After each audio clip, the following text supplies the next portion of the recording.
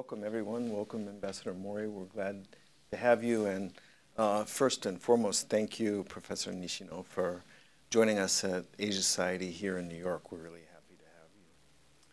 Today we're going to be unpacking uh, an issue that is tremendously important and it's particularly important personal to me because it's an issue that I've worked on over the years in my career in government and since I've come to the Asia Society, the relationship between Japan and the Republic of Korea. So my very first assignment as a diplomat a long time ago was in Tokyo. Mm -hmm. My third assignment as a diplomat was in Seoul, South Korea. And in between, I was stationed here in New York at the U.S. mission to the United Nations, where I worked hard on issues uh, involving Japan and pertaining to Korea, including uh, North Korea, and also including the uh, entry of the Koreas as full members of the United Nations, something that uh, we had to, only the Cold War really, really made possible. Later in my career, I worked for President Obama, and I uh, was involved uh, very directly in the efforts to try to facilitate an improvement in the relationship. Uh, President Obama hosted two uh, summits, two trilateral summits, long before Camp David with then uh, Pre President Park Geun-hye and uh, with Prime Minister Abe Shinzo. And when I worked for John Kerry, uh, his counterpart and the person in, on the Japanese side that really, really made that progress possible was the then foreign minister, uh, Kishida, who's now, of course, prime minister. So um, this is a, a personal topic to me. But that's enough about me. Let's talk about you. We want to hear from you, Professor Nishino, but before we delve into the uh, the substance, I wondered if you could start by telling us a little bit about yourself and, and how you got interested, how you got involved in uh, Korean affairs. And you're not just involved. I know that um, when President Yoon was preparing to make his sort of breakthrough visit to Tokyo, he got a lot of invitations from a lot of different places uh, who wanted him to come visit and come speak. And uh, he chose you. He chose to come to Keio University and give a speech. So um, there's got to be a reason for that. And we'd love to know more about your background. Uh, thank you. Uh, thank you for the Asia Society for uh, organizing the event and invite uh, having me today. Uh, thank you, uh, the Vice President Danny Russel, the, also having me today. So as you mentioned, fortunately, we Keio University had the President Yoon Suk Yeol when he, when he uh, made a visit uh, to Japan last year, uh, March. Uh, he, uh, as far as I know, he, uh, President Yoon, strongly want to have a, a dialogue with the younger generation in Japan, and he want to send a very strong message to the younger generation in both nations, Tokyo and Seoul. Then he, he asked our university to uh, have a dialogue with students at the Keio University. And uh, we uh, accepted, and he visited after the had a meeting with Prime Minister Kishida last year, March. So he uh, his speech was quite uh, significant and uh, impressive. He, he mentioned, he, he, he talked to the student like this, Japan and South Korea, South Korea and Japan uh, it's not only a neighboring country. Uh, we, we share a fundamental uh, universal uh, value uh, like uh, human rights or the rule of law, something like this. Then we need to play a, a, leadership role in the international community. I think this means that President Yoon really aware that we, Japan and South Korea, should be and must be a so-called natural partners in the international community. But uh, very, uh, due to very unfortunate uh, situation deteriorated our bilateral relations for the over past 10 years, we could not. But now it is time for two countries to realize uh, to be a natural partner. And uh, actually, I uh, started the study Korea studies uh, almost 20 uh, years ago. Uh, actually, I, I, originally interested in the international relations in East Asia, but when I was an undergraduate student, the North Korean leader Kim Il Sung died. Then I started to interest uh, pay more attention to the uh, Korea affairs. Mm -hmm. Yeah, I uh, was in Geneva negotiating with the North Koreans uh, when the news came in 1993 that mm. Kim Il Sung had died, and uh, that was a pretty pretty dramatic moment. Right. right. So um, you mentioned the visit of President uh, Yoon Suk Yeol to Tokyo and he came to Keio. That was a groundbreaking uh, gesture. And one of the things that made a strong impression on me, and I think is symbolic not only of the, uh, the, the shrewd way that both Prime Minister Kishida and President Yoon have worked the effort to promote reconciliation, um, but also shines a, a, an interesting light on politicians was um, the meal that they had of omu rice. Mm-hmm. Americans don't rice. know what omu rice oh, is, but it's a sort of hybrid word of omelet and rice. I mean, it is about as simple a meal as you could possibly design. And um, President Yoon let it be known that omu rice was one of his favorite dishes. And the Japanese side cleverly, I think, arranged to have uh, Prime Minister Kishida take the president of Korea to a restaurant that was the, the originator of this omu rice dish. Right. And I mention it in part because it really points to something consistent with what you described, which is the priority that President Yoon placed on speaking to students, speaking to young people, which is that humanizing uh, a foreign leader, humanizing the relationship, making it real, and uh, tapping into something that everybody can relate to, right? What you eat for dinner. Uh, and also showing your appreciation of the other side's culture. President Yoon didn't insist on eating bulgogi in Tokyo. Uh, and he didn't go for anything fancy like uh, sushi or kaiseki. So I, I think that is there's an important clue mm-hmm. as to what it's going to take to ensure that that detente is resilient. Right, right. So uh, as you well know, that, uh, again, because we had a very difficult uh, relationship for over 10 years, and uh, frankly speaking, uh, we, we lost kind of the trust relationship. But now, thanks to the President Yoon's strong leadership and his sincere attitude toward Japan, now we started to restore and almost restored our trust relations, especially between the leaders uh, between the Tokyo and the Seoul, Kishida-san and the President Yoon Suk Yeol. Uh, we, Japan and South Korea, had the uh, summit meeting last year seven times, quite amazing, mm. and uh, foreign ministerial meeting six times, and we restored various high-level governmental meeting like vice ministerial strategic talks, high-level economic uh, dialogue like this.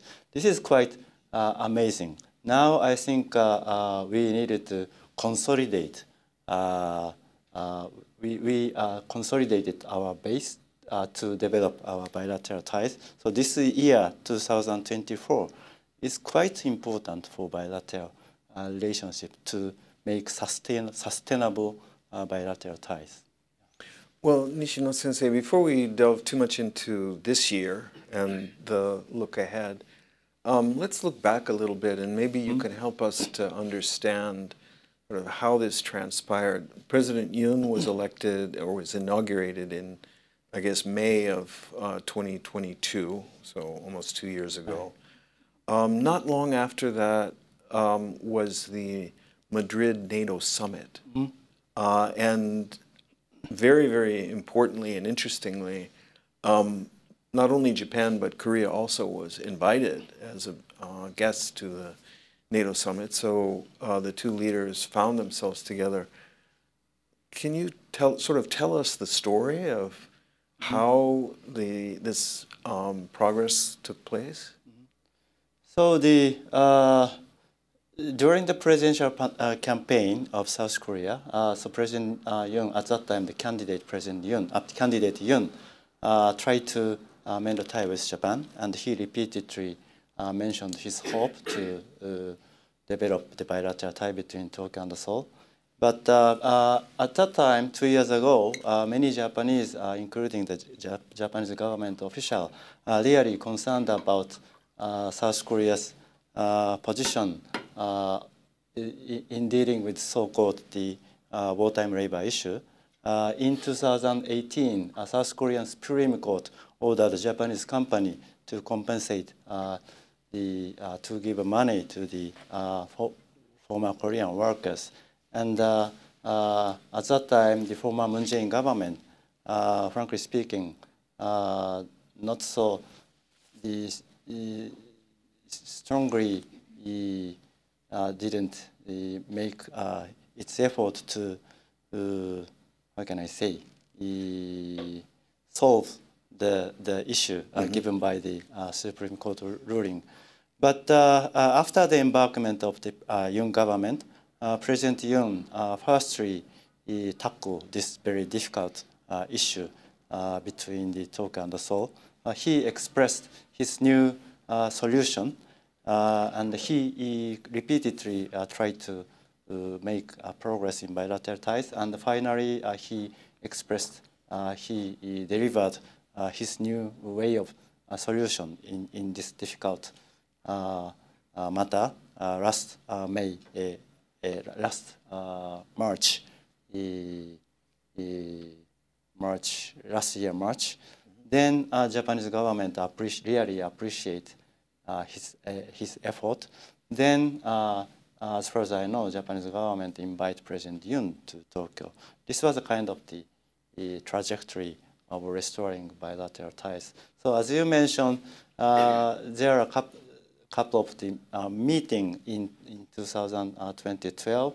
But uh, at that time, uh, Japanese government, from my perspective, are still cautious to uh, shake hand with uh, uh, President Yoon. But if my memory is correct, two years ago, when the Prime Minister Kishida and President Yoon met in this New, New York, so after the, this meeting, the, the former Prime Minister Aso also visited uh, Seoul, yeah. and the Japanese uh, high-level uh, politician are really impressed by the President Yoon's very strong uh, resolution and strong uh, intention to uh, improve the bilateral ties. Then the Japanese government decided to make new era with President Yoon. This is what I, I know. Well, one of the things that I noticed was the decision by, by President Yoon to uh, visit the Japanese embassy after the assassination of former Prime Minister Abe to sign the condolence book. And uh, for the President of Korea personally to go and to do that, I thought um, was a gesture that would resonate among uh, Japanese people, and I think it's sort of symbolic of uh, his determination to try to change attitudes and to improve the relationship.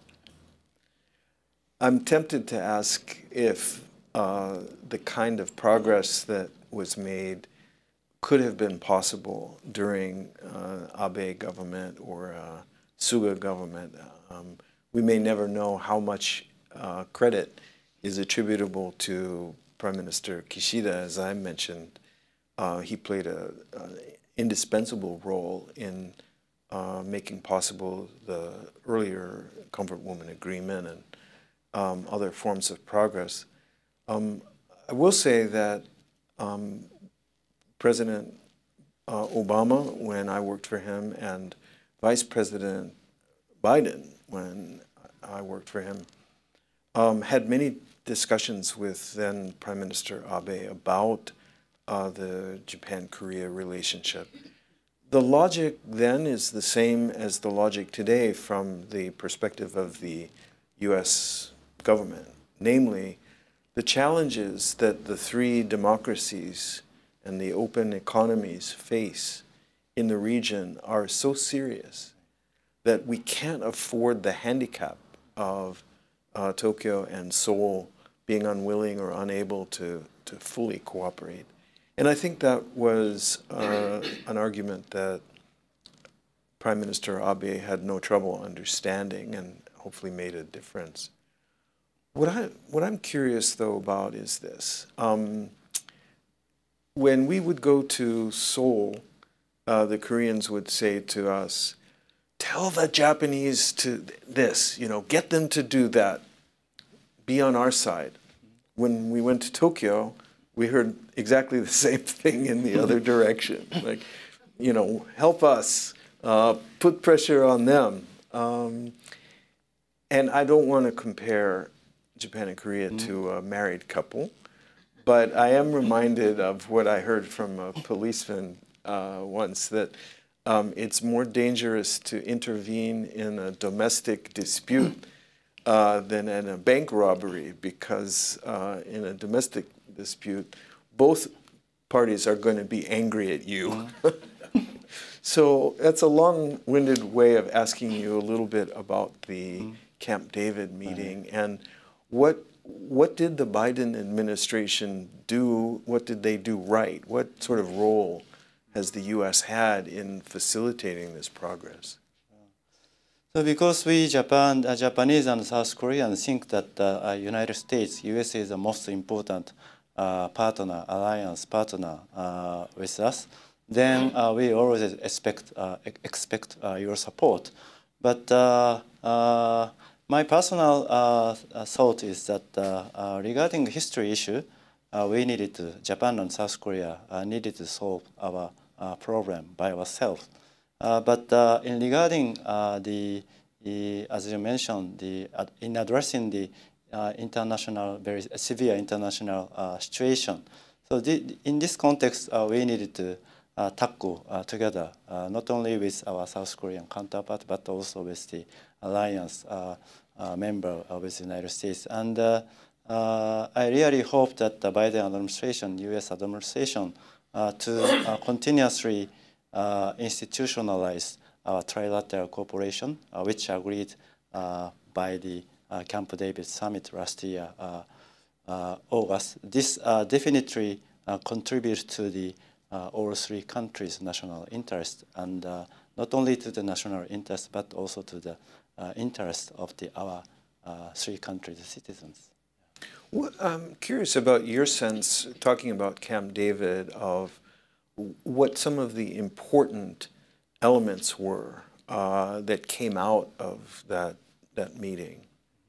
So the uh, when it comes to trilateral cooperation among the U.S., South Korea, and Japan, we always talk, talk about the cooperation against the North Korea's military threat. Yes, it's true, but it is important. Uh, uh, the in my, in my understanding, it's important for three countries this time to agree cooperation uh, beyond the North Korean issue. I mean the cooperation in Indo-Pacific region. So now we are our three countries uh, have a very uh, similar, almost the same Indo-Pacific strategy. And then uh, we agreed to expand our cooperation, not only in the area of North Korea, but also the, in, Indo-Pacific.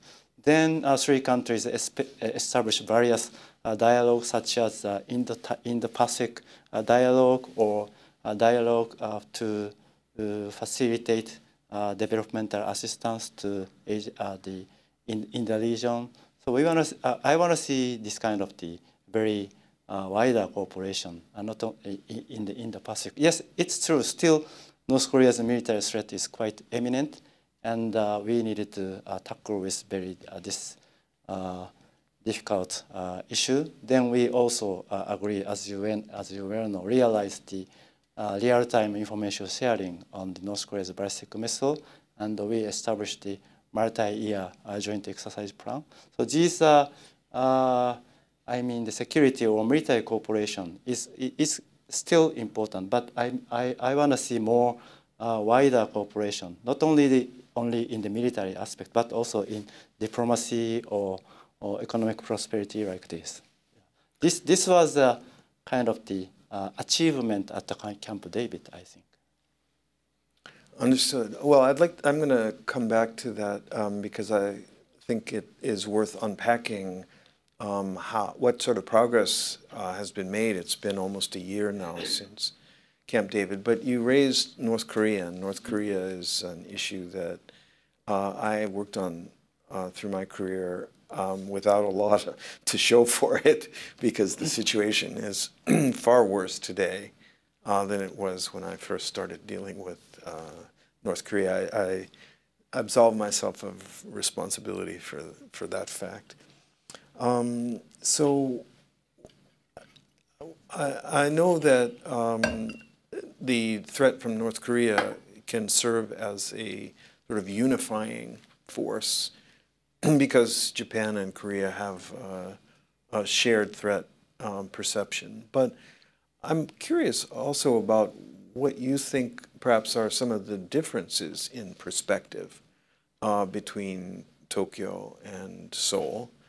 And I was intrigued to hear uh, Kim Yo Jong, the, the sister and senior uh, family member, uh, sister of Kim Jong Un, uh, talk about the possibility, dangle the possibility of Prime Minister Kishida visiting Pyongyang. What talk a little bit about um, both what's going on and how the perspectives in Seoul and Tokyo might differ.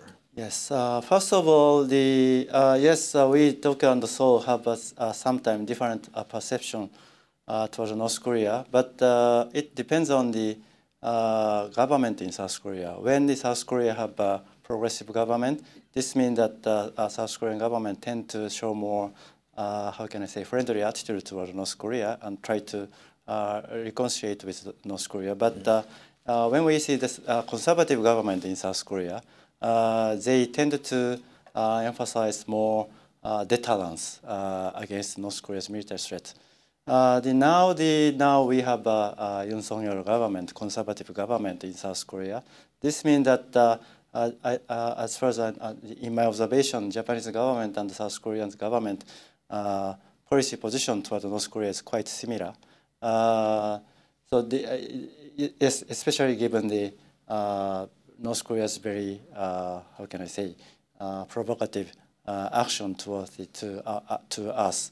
But yes, in my understanding, there, there, there is a, a uh, differences between uh, now Tokyo and the Seoul. So the, as I mentioned, now Yoon Suk Yeol government is taking very tough position towards uh, North Korea and uh, try to uh, emphasize the, the, the deterrence uh, power against North Korea. And President Yoon always say uh, that uh, so peace through strength, uh, peace through strength. This means that uh, uh, South Korea show more muscle toward North Korea. yes, as far as I know, Japanese government quite uh, support uh, new North Korea policy. But at the same time, so we always, Japanese government and many Japanese uh, always think that we also need diplomacy towards North Korea because we have a very outstanding pending issue, abduction issue. Uh, so to uh, solve this issue, to make a progress this issue, we need uh, anyhow dialogue with North Korea. the reportedly, Japanese government, Prime Minister Kishida, had uh, informal dialogue uh, with North Korea last year, but uh, I'm not sure this informal interaction is still going on. So the, given this background, now the I think North Koreans, North Korea, Kim Jong Un and Kim Yo Jong, sent a very signal to the Japanese government. But I don't think North Korea is really, how can I say, enthusiastic to uh, mend the tie uh, with Japan because the as North Korea uh, Chairman Kim Jong Un expressed now uh, North Korea uh, needed to develop its nuclear uh, and missile capability more. Then uh, they, they try to uh, have a dialogue with the United States to realize uh, not denuclearization talk, but arms management, arms control talk with the United States. But it's true now North Korea is quite difficult situation, especially economically. I think they may uh, want to have some kind of the, uh, breakthrough, and this is a uh, this is uh, what uh, given this the circumstances now Kim Jong Un and Kim Yo Jong sent a very tricky message to Japan. the in my observation, Japanese government Prime Minister Kishida the want to how can I say, uh, the grab this opportunity to very uh, small, not so big, but small opportunity. Uh, but because uh, Japanese government and Japanese citizens really desperate to solve our uh, difficult abduction issue, uh, to make, if the when if we wanna make some progress, I think the Kishida-san will try to have a dialogue with his counterpart in North Korea. But uh, uh, frankly speaking, I don't think uh, at, at, this point North Korea is really sincere in, in mend tie with Japan because uh, Kim Jong-un's statement uh, she made uh, February 15th, she, she mentioned like this, Shida-san may come to Pyongyang if Japanese government uh, change the stance of the abduction issue. If, if uh, Japanese government abandon uh, the, the, its thinking that the, the abduction issue is important. But it's not totally unacceptable for the Japanese government at this point.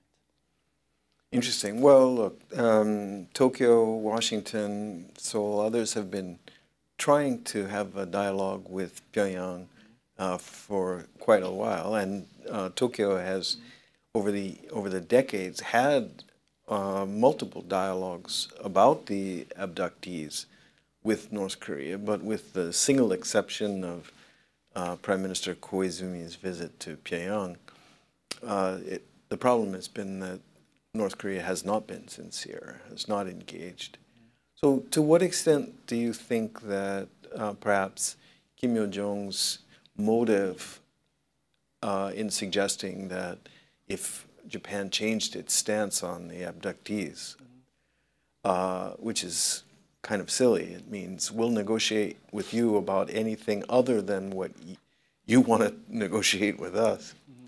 But um, to what extent was she just trying to uh, drive a wedge between Japan and Korea? Because uh, closer ties between Japan and South Korea are probably seen as a real threat to North Korea.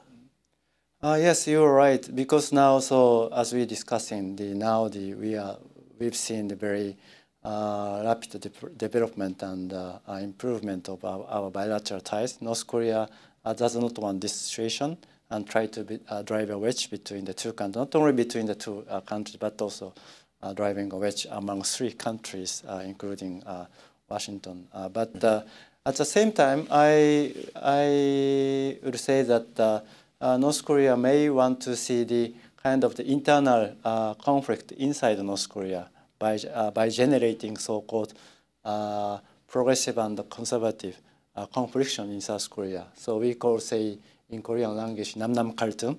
Uh, so the, now the progressive side in South Korea really criticize Yoon government policy, very tough policy toward North Korea. But uh, then, then uh, North Korea, uh, especially the, this year, expressed change of the North Korea's policy towards South Korea. They, they say that not, South Korea is not is now not the same nation. Right. But at the same time, Kim Yo Jong and Kim Jong Un sent a very uh, friendly uh, signal to the Japanese government. Then uh, many progressive people in South Korea think that because of the Yoon's very tough policy, now North Korea ignores South Korea, but North Korea try to approach Japan.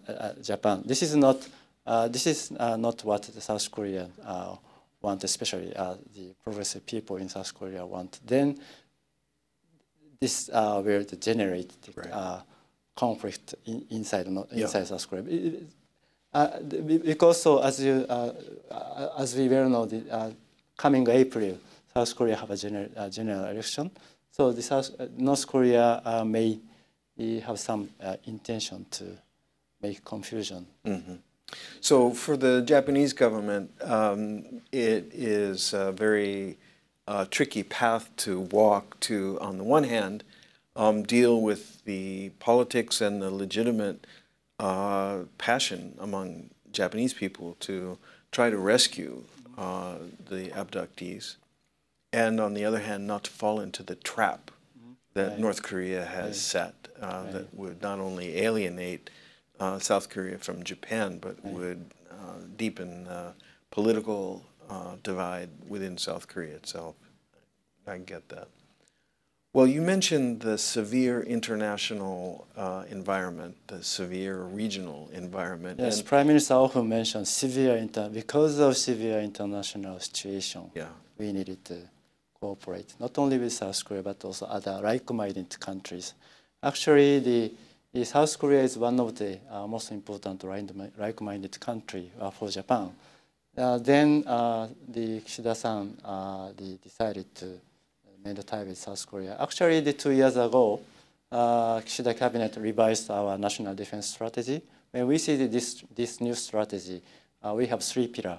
One is enhance our own defense capability, and second one is uh, create obviously uh, enhance our alliance partnership uh, with the, with the United States. And the third pillar is quite important at this point. So the uh, foster the, the network and the partnership with like-minded country, because the, not only Japan but also the every nation in the in the world think that uh, uh, fran- frankly speaking now the U.S. power is relatively decline. Uh, yes, still uh, we needed to uh, strong alliance partnership, but uh, we need more uh, partners and like-minded countries. This uh, this really uh, contributes to tackle with very severe international situation, especially in in the Pacific, in East Asia. We have China as a neighboring country, so the we are more partners in, in dealing with this this difficult problem. Well, I when I uh, in in government uh, when I went to the to the White House was um, frankly surprised to see the extent to which people in in the U.S. government underestimated the uh, the influence, the engagement, uh, and the importance of Japan in the Asia Pacific, in the Indo Pacific. I mean, the level of Japanese investment, for example, uh, is greater than that of China. Um, the active diplomacy of Japan uh, with ASEAN, as well as on a bilateral basis, um, the the effort to build ties with India and draw India uh, more closely into the the life of the uh, Asia Pacific uh, was a Japanese initiative, um, and it took a while, I think, for Americans to really grasp the uh, contributions that Japan was making, in part because uh, Japan makes them pretty quietly.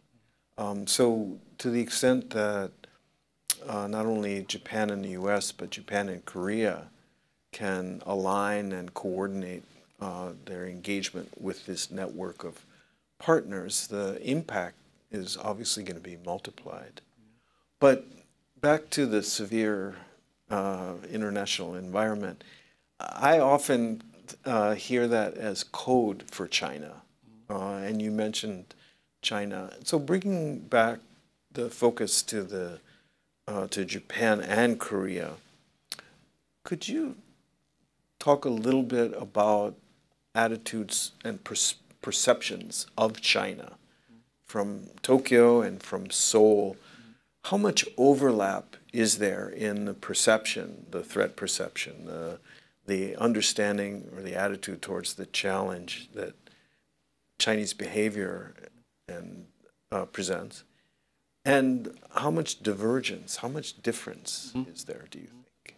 So in my observation, uh, again, now we have a Yoon government in South Korea, and uh, uh, actually uh, we uh, we've seen the narrowing the gap uh, between Tokyo and Seoul regarding the perce- uh, perception toward China, and now President Yoon is taking uh, new uh, not new new policy toward China, and not only new policy toward North Korea. So he he President Yoon really tried to realize mutual respect relationship with China. This means that because China uh, exercised very uh, severe economic retaliation uh, to South Korea when the South Korea decided to deploy THAAD missile system in 2017, uh, then uh, the actually the, this uh, economic retaliation happened. Now then now uh, according to the opi- various opinion poll, many uh, South Koreans are really really have negative view toward China around over 80 percent, sometimes around 90 percent. Yeah.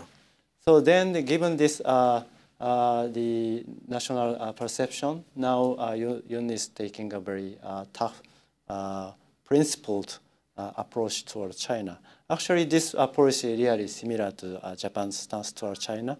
But yes, there is a kind of difference. First one is still the anyhow progressive or conservative government in South Korea.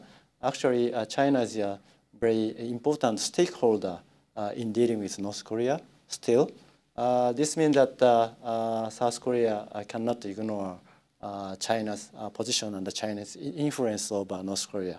This is first one. Second one is that economic relation with China. Yes, it's true. The most of nation in, in, in the world uh, has, a, has a China as a number one trade partner at this point. But the South Korea and perspective, China's shadow is quite huge, quite huge. Uh, Japanese think that uh, uh, we, uh, Japan and China, in a way, uh, in a way, is an equal partner or strategic, uh, make a strategic relationship. But uh, uh, South Koreans uh, does not think so. Uh, Chi- uh, South Korea thinks that China is a very, very big, huge uh, panda in this region. Uh, so this is a kind of the perception gap. And the Chinese side also uh, see differently Japan uh, Tokyo and Seoul.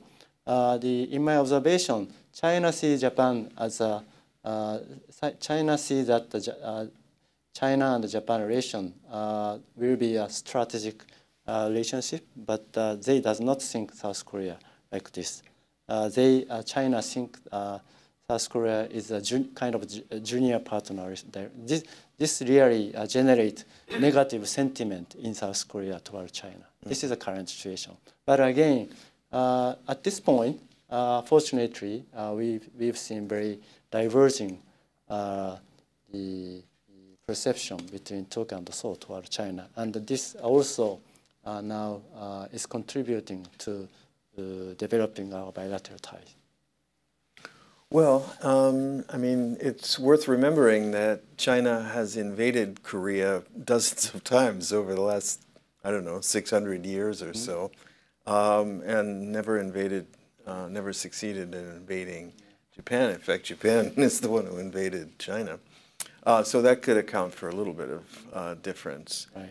Um, I think dealing with North Korea obviously is a is a major uh, area of divergence um, because the tremendous priority that, understandably, South Korea places on uh, dealing effectively with the DPRK, although nothing in the record suggests that uh, um, making nice to China is going to translate into China's uh, pressure on North Korea to behave, let alone to come into compliance with its international obligation. So I think there's a little bit of wishful thinking there. Uh, yes, and uh, so the uh, we Japan and Tokyo uh, does not want to have a conflict situation with China. We wanna uh, make stable uh, relationship with China, and in this context, Kishida, Prime Minister Kishida always say that Japan want to make a constructive and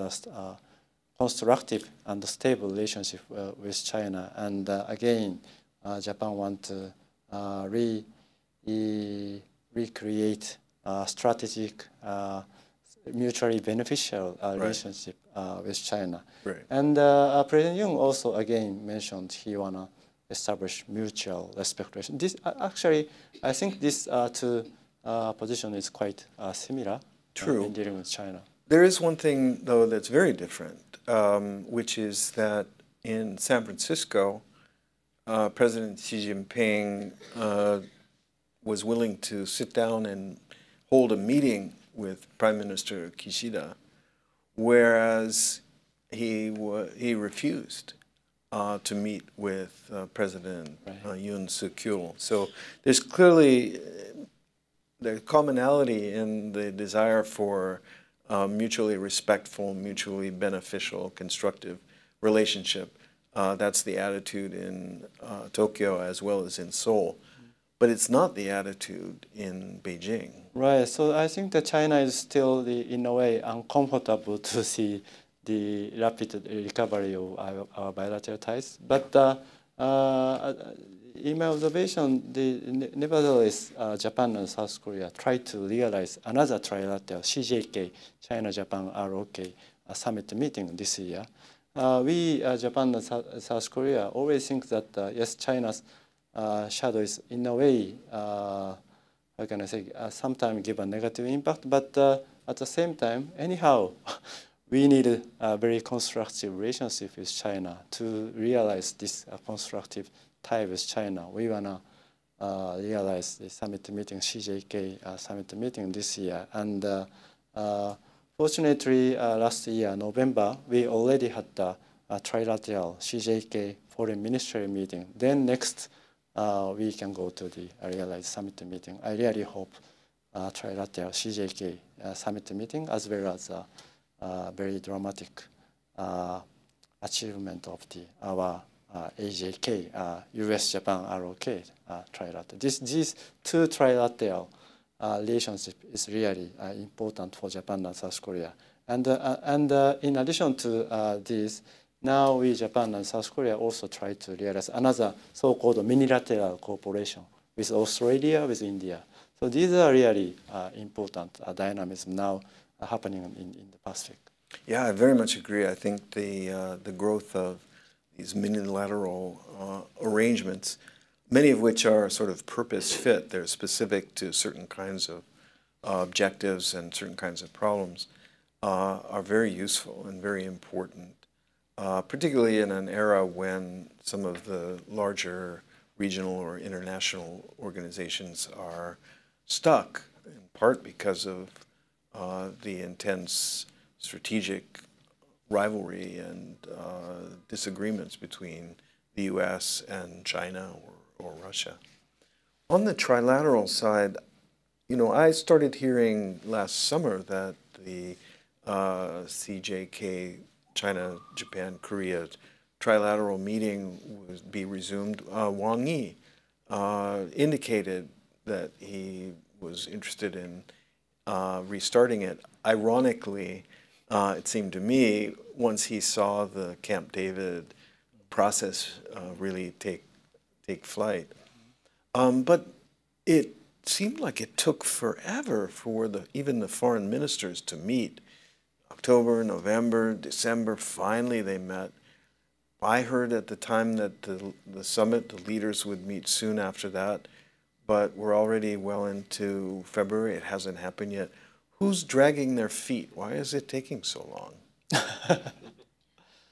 Well, uh, so as you mentioned yeah, at the event uh, in San Francisco, still the uh, Chinese government, Xi Jinping side, will have some kind of reluctance uh, attitude towards uh, have a very cooperative uh, relationship with uh, Tokyo and Seoul, and uh, they may hesitate to remain our tie with uh, Tokyo, uh, with, to- with, with Tokyo, uh, Beijing, and Seoul. But uh, in my personal observation, because now Xi Jinping started his third term, and because China is now have a, have a very difficult situation in its economy, I think uh, China also want to uh, uh, have a very stable and managed uh, situation in, in this region.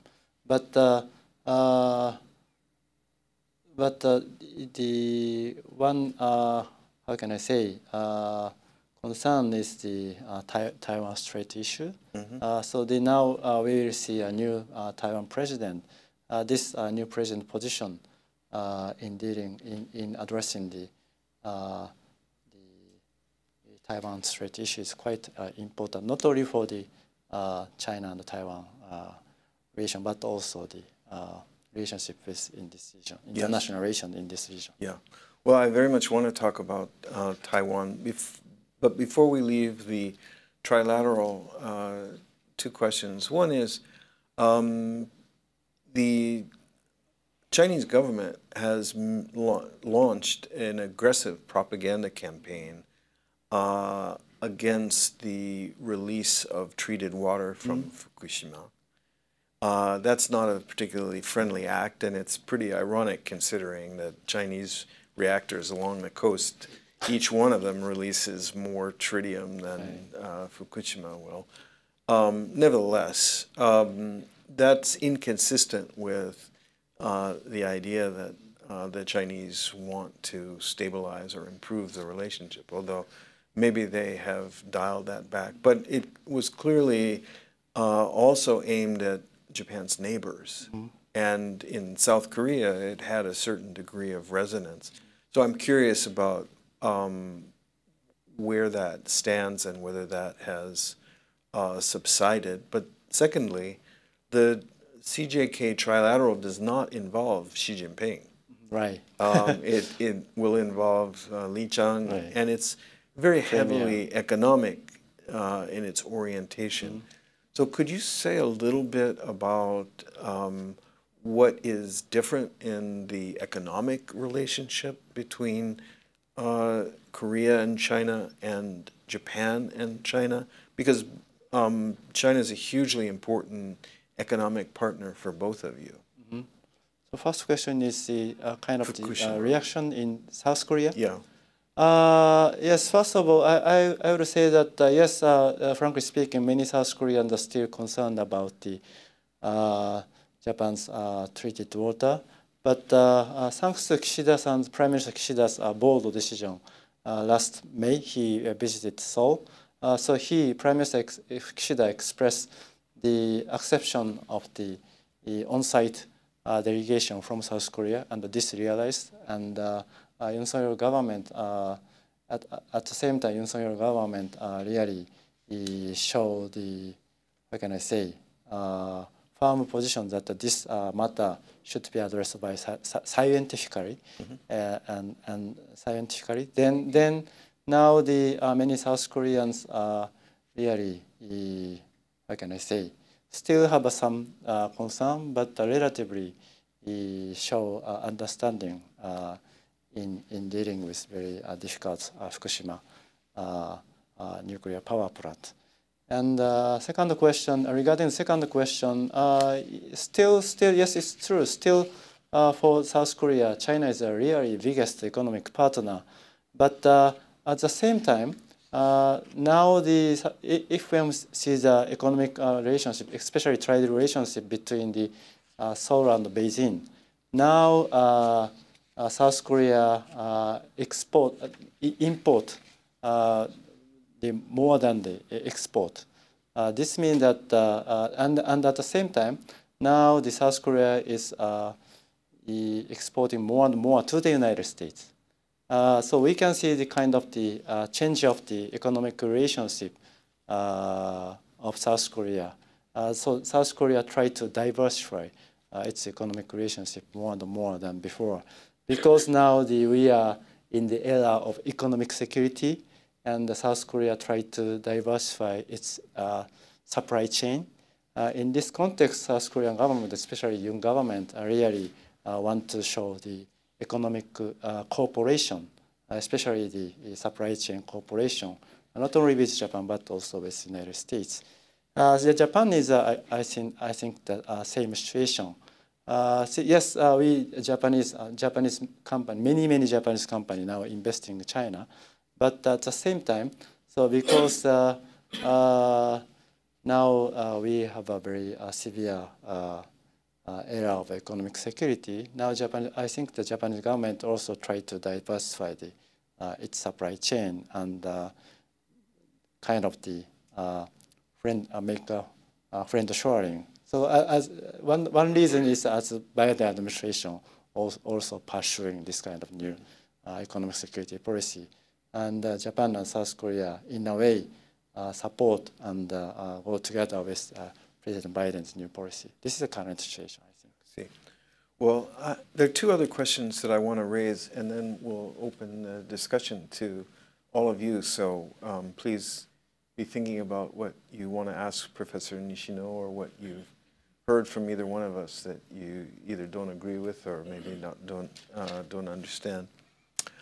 So you mentioned Taiwan. Mm -hmm. um, there has been a, a a significant shift in messaging from the Korean government, uh, including at Camp David, where President Yoon uh, signed on to a statement making clear that uh, uh an, this was an indispensable element of security, I think the statement said. Uh, whereas Korea had been pretty reticent to talk about uh, Taiwan or the Taiwan Straits uh, up until then.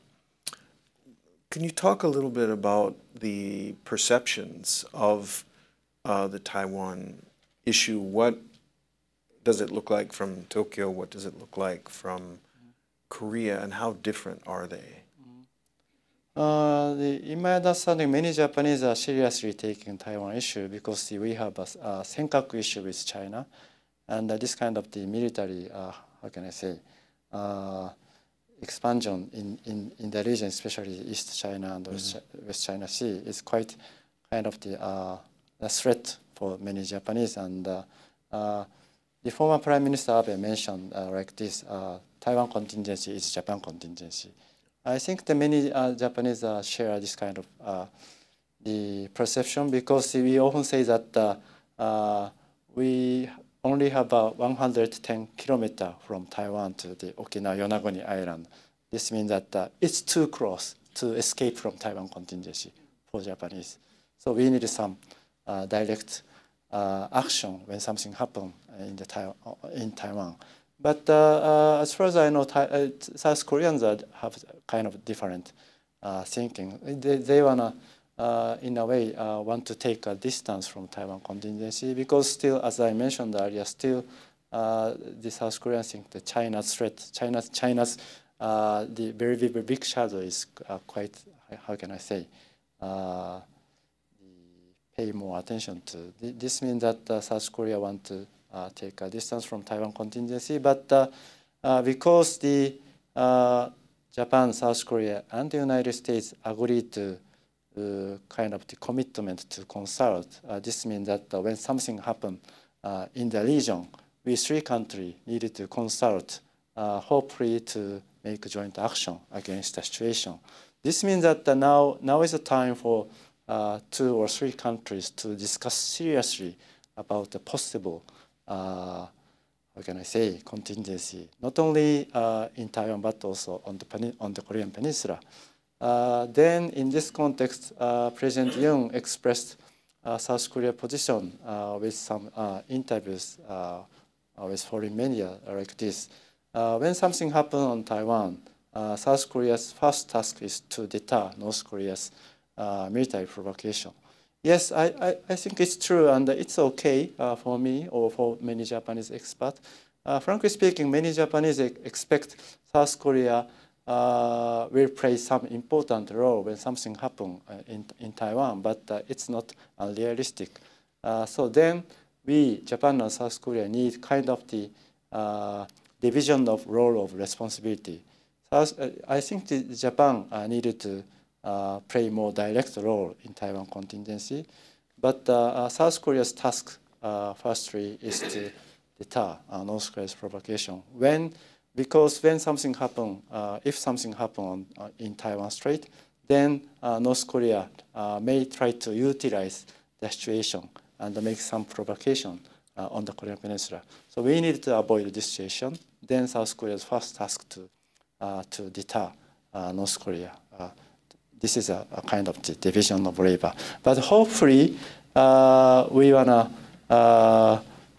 discuss kind of the uh, future possible uh, joint response.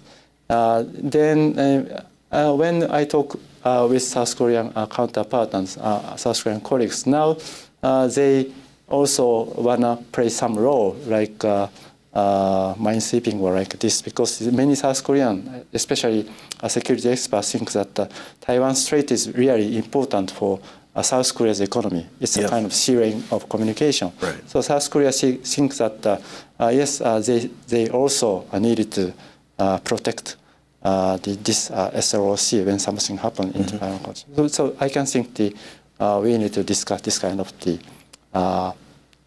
possible cooperation seriously in this year.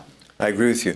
I've also heard many times from Korean friends the concern that South Korea can't really commit to support uh, uh, any kind of response to uh, military action across the Taiwan Strait because for, uh, they have to be focused exclusively on uh, North Korea, who is likely to take advantage of the uh, chaos to invade or something.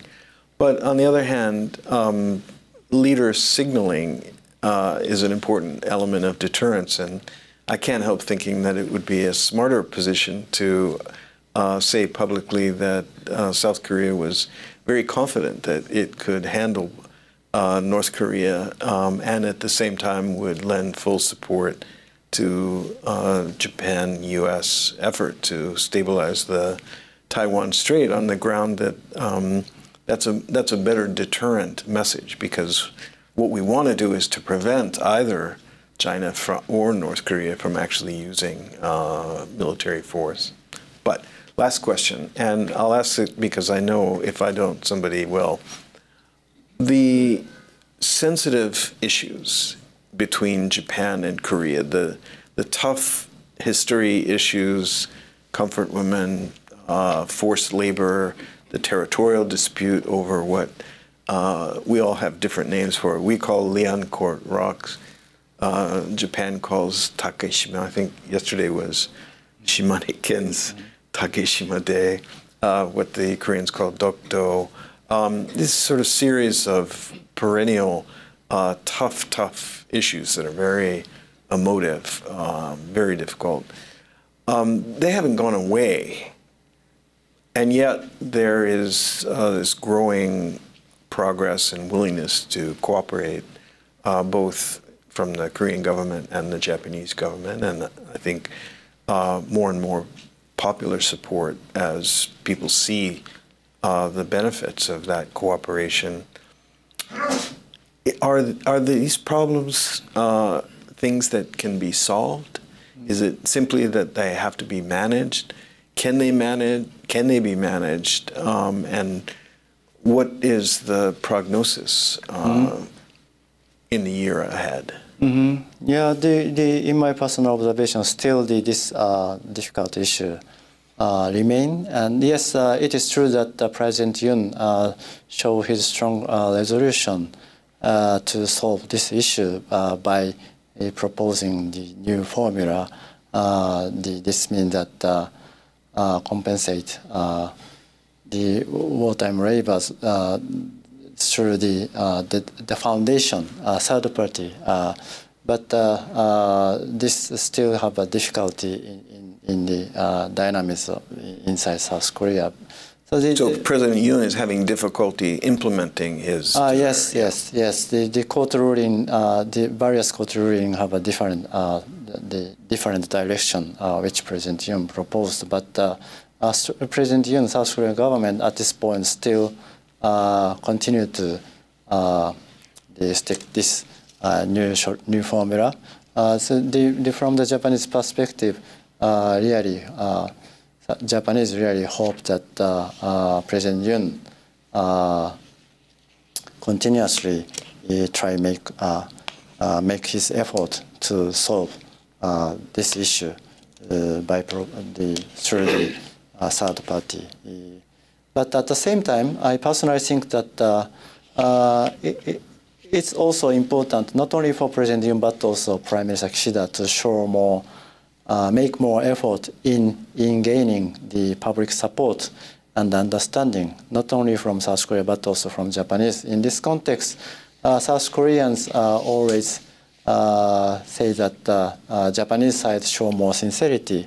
Uh, I think yes, it's true. Uh, Kishida-san, Prime Minister Kishida can do more, and actually he showed his sincerity again. He visited Seoul last May, but I can I, I think Kishida-san can do more. And then uh, Japanese government is now implementing uh, this kind of uh, measure uh, uh, to uh, take a kind of the initiative in realizing the future-oriented bilateral ties. And I want to um, mention that the next year, we, Japan and Seoul, have a 60th anniversary mm -hmm. of opening our diplomatic ties. Now, as far as I know, the both sides uh, hopefully and uh, uh, try to realize new kind of new joint declaration if possible. So the through this new through this effort this year, I expect that two nations, Tokyo and Seoul, reached a new era. So this is my hope. My hope too. All right, thank you. So um, we're going to turn it over to you. Uh, John has a microphone, so uh, raise your hand and let me call on you. And we want to hear from you and uh, your questions, please. Hello, thank you so much for your time today. Um, I'm Sarah from the APEC Study Center at Columbia University. Um, so, my question is with the upcoming US election, could you speak to Japan and South Korea's views on a possible Biden Trump rematch and implications for the trilateral relationship? Thank you. Uh, election in the United States, right? Yes. Uh huh. So I know you slightly try to avoid this topic. I do.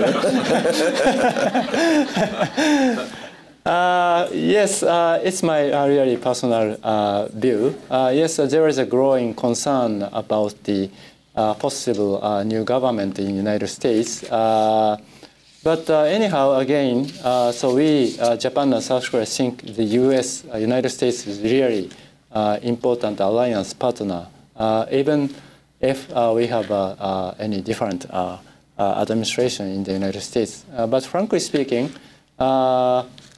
in my uh, observation, now the many South Koreans are really, uh, how can I say, uh, anxious about, concerned about the, the the emergence of Trump administration because uh, when we see the first Trump administration, uh, at that time, the President Trump uh, tended to uh, put less emphasis on the alliance partnership, uh, especially with South Korea.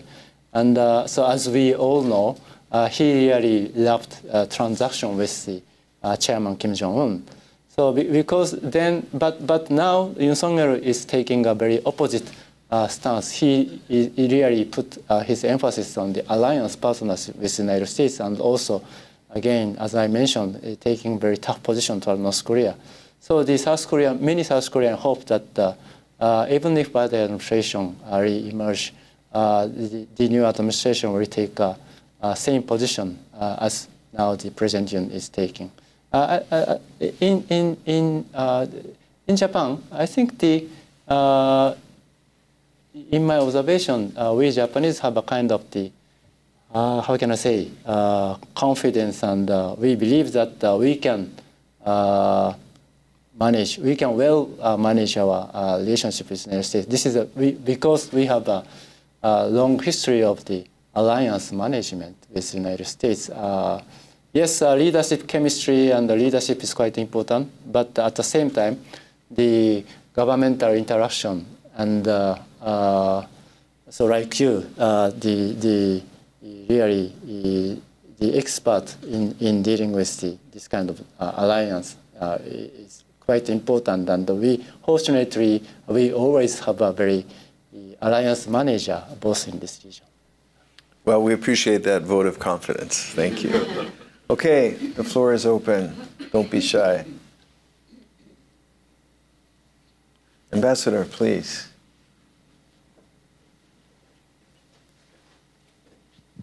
Thank you, Danny, for this opportunity. Um, unlike uh, Professor Nishino or uh, yourself, Danny, I was involved in um, uh, Japan-Korea relations or, or South Korea very limitedly.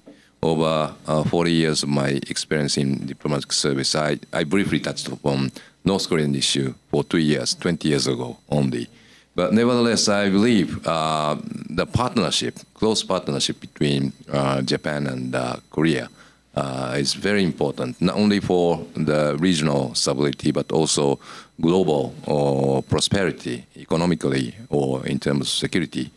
And uh, in, in that respect, uh, you uh, suggested many uh, prospects to the future. What uh, governments can do, uh, Japanese government, the Korean government, or prospect of Korean election, or even uh, U.S. position. But uh, what I think uh, is uh, also important is people-to-people relations between South Koreans and Japanese. And as I, in my limited experience, I saw quite substantial residual sentiment among South Koreans against Japanese. Uh, you, you talked about this uh, treated water, water uh, treated water issue, but also uh, in uh, Takeshima Dokdo issue or in um, um, uh, comfort woman or so-called forced labor issue. There always a very substantial portion uh, of, of Korean population who is uh, uh, strongly uh, feeling sense of an- antagonism against Japanese, not only government, but in some cases Japanese business or Japanese public. Oh, and Japanese public reaction at the same time is quite reactive. When we see uh, some anti-Japanese movement in uh, South Korea, Japanese people uh, come to dislike Korea. But under the current situation, since uh, President Yoon's management is very well, uh, Japanese uh, public sentiment against uh, vis-a-vis uh, South Koreans are drastically improving. So, what do you think um, both people can do? I mean, uh, uh, Korean people and Japanese people, as well as American people in, in some way, uh, to uh, solidify or make it sustainable or the Japan-Korea partnership in terms of social relations. Thank you. I'm so glad you raised that. That's a really important point and a really important question. So thank you, Ambassador, for question. Uh, the first question is about the, the kind of the yeah, cooperation uh, in the international community. Fortunately, now, as you well know, President Yoon is taking uh, his new policy. Uh, he want to become a global pivotal uh, state, South Korea, uh, South Korea as a global pivotal state, which means contribute more to the international community. So this new Yoon's new policy really uh, make a diplomatic space for two countries to cooperate more in the uh, worldwide because the uh, Japanese government uh, has, has been taking uh, uh, the, the free and open Indo-Pacific. And uh, President Yoon also delivered South Korea's uh, the Pacific strategy. Now the we our foreign and national security strategy is really uh, converging. And uh, as I mentioned earlier, uh, not only in bilateral context but also in trilateral uh, context, we established many uh, consultative body uh, to realize, to implement this kind of new cooperation in the international community. And uh, uh, moreover, uh, so here is in New York. Now the Japan and South Korea is a, a non-permanent member of the Secu- Security Council, uh, UN, United Nations Security Council this year. Uh, this means that uh, uh, so two countries really uh, uh, tackle uh, together to the very difficult international issue at the UN Security Council. It's really quite important uh, moment uh, for two countries. Uh, regarding the second question, frankly speaking, I'm not so optimistic, but I want to be cautiously optimistic of the power of the next future generation. As the ambassador mentioned, yes, actually education in both uh, nations really matter. South Koreans, uh, South Korea's education uh, is really put emphasis on the kind of the uh, colonial period, but uh, many Japanese students uh, did not have this kind of education. This makes some difference in the perception when we see the, the counterpart. But uh, so as President Yoon put his emphasis on the uh, exchange, people to ex- people exchange uh, in the younger generation, and actually in in trilateral context now uh, we three countries have a trilateral youth summit uh, coming September in Yeah. Busan. So this kind of the the, the youth generations uh, people to exchange uh, the, the will have a, a positive impact to our, our relationship, but it will take a long, long time. Uh, but uh, uh, we needed to continue to uh, realize this kind of the project. At the same time, uh, and then uh, the uh, government cannot, uh, how can I say, uh, shape all of the direction, but the government ca- can support, support, uh, and encourage our people to to people exchange. So without, uh, I, I, I mean that without the governmental uh, support, actually, uh, it's we can see it's we are seeing very natural people to people exchange, especially in between the Tokyo and Seoul. We we have only just two hour flight. Actually, uh, so in my case, I I uh, go to Seoul uh, almost the every week. Uh, the, usually usually once or twice a week, uh, at- once or twice a month. Uh, so, but when when we uh, take a flight uh, talk between Tokyo and the Seoul, so many younger generation and so many uh, parents of them, they are really enjoying. And this this will uh, definitely uh, contribute to our uh, building our healthy relationship in the near future. Great. Well, wonderful question, uh, terrific answer, uh, and a great uh, conversation. Professor Nishino, I really appreciate you uh, coming and uh, giving us a chance to hear from you. I appreciate all of you coming. Um, this event will be posted on YouTube and on our website.